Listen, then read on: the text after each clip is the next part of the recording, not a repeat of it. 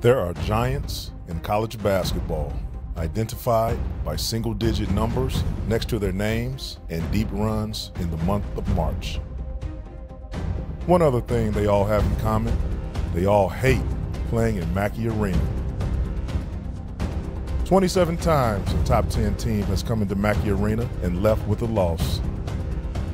It's where we handed the Hoosiers in 1987 grounded the Flying Illini two years later and rung in 2010 with the beatdown of West Virginia. And the top 10 team we've beaten more than any other is Michigan State. Six times the Spartans have come to Mackey with the top 10 ranking and fallen short. We took down Magic in 1979 and beat Mateen in 2000.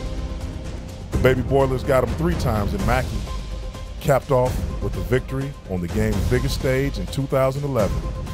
And who can forget Rapheal going off in 2016? outside jumper by Davis. Good again. It's another triple. Moments like this help define a season. But notice, we don't refer to them as upsets. Anytime we step on Keady Court, we expect to win. Because here, we are not alone because it's not five on five, it's five on 14,000. This is where the next moment will be made. Now let's get to work.